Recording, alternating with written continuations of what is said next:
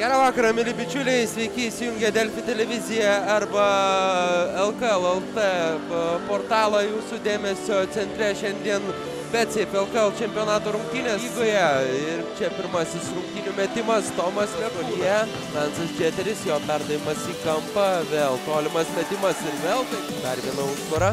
Ir Runkauskas per rankas pataiko iš toli.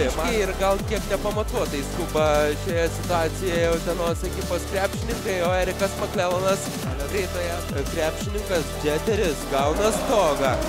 Kaitis vagia kamuolį iš varžovų. Runkauskas. Šikšnius dar kartą iš toli ir dar kartą taimas Dimšas su kamuoliu.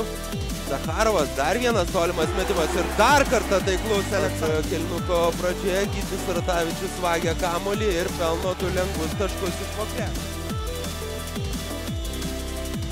Galeckas pats iki galo nespėjo Kauskis. Pats atakuoja Dovis Bičkauskis ir tai... Emanuelis Omofo šį kartą viską išsprendė. Turi vėl lygybę.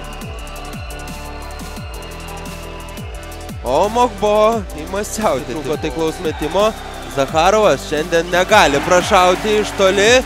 Ir... O Watsas paliktas atakuoti visiškai laisvas ir baudžia.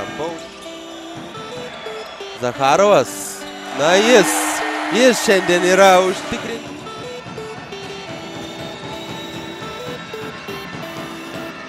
Galeckas. Taip. Ohohoho, kokį metimą pataiko Dovis. Watsas kaip įspūdingai įveikė varžovų gynybos užkardas ir galutinis kėlinio rezultatas 62-60. Dimša vagia kamuolį iš varžovų ir čia Zakharovas viską užbaigė. Pasvaliečių pozicinis puolimas. Marius Runkauskas vagia kamuolį, gražus perdavimas po krepšiu. Lekūnas laisvas, trys taškai. Dimša. Kikšnius nori pacentruoti.